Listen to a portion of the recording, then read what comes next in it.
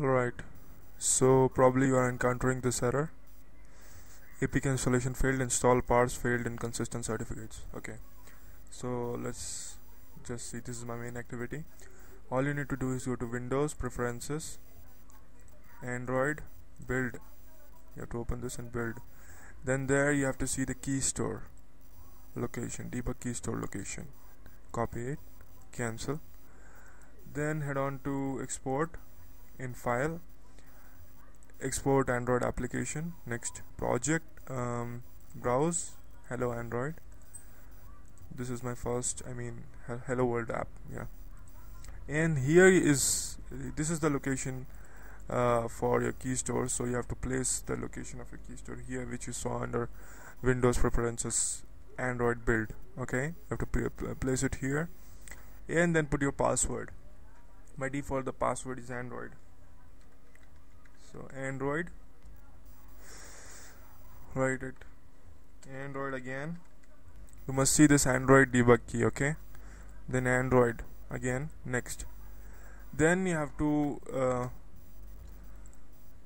place your destination file. So android yeah. Okay let me just create a new folder error fixed. Yeah this is what I'm gonna name it. And error fixed hello android. Save. So yeah finish click finish. Minimize it. Close. Error fix we're going to error fix. And then you'll have this hello android app. All you need to do is just put an extension dot .apk and it is ready for BlueStacks debugging. Click it and let's just see whether it, whether it is working. We are not getting an error finally but let's just wait and check if the app is running. This is my uh, hello world app. So you will just see hello world written on it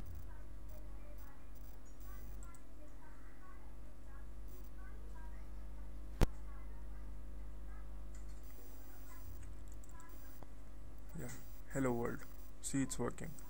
So this is how you can fix it okay?